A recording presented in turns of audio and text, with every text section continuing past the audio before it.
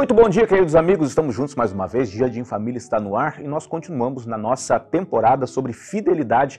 E agora nós vamos para o texto bíblico e encontramos Jeremias 3:22 que diz: "Voltai, ó filhos infiéis, eu curarei a vossa infidelidade."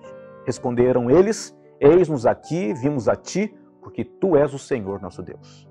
O ideal é não cair no erro da infidelidade, mas se cair, isso não significa que seja o fim ou que o relacionamento não tenha mais jeito.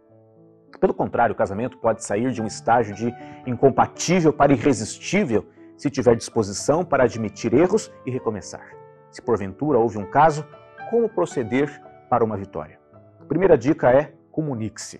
Seja sincero e não tenha medo de fazer perguntas, ainda que não goste das respostas, pois elas são a chave para o futuro. O segundo aspecto importante é converse com, fra com franqueza. Fale com franqueza sobre o assunto. A confissão vai lhe dar uma chance muito maior de consertar a situação do que se o cônjuge ficar sabendo por terceiros.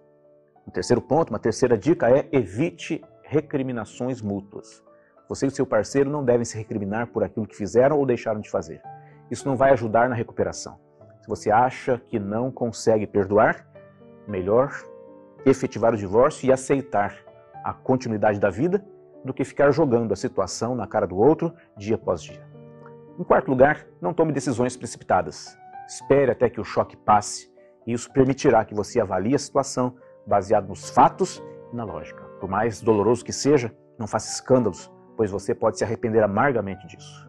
Lembre-se que toda dor, por maior que seja, tem uma cura baseada na graça de Jesus. Amanhã nós continuaremos este tema e daremos sequência a esse raciocínio de algo tão importante, que é nós tratarmos da temática pós-caso, caso isso esteja acontecendo ou tenha acontecido no seu lar.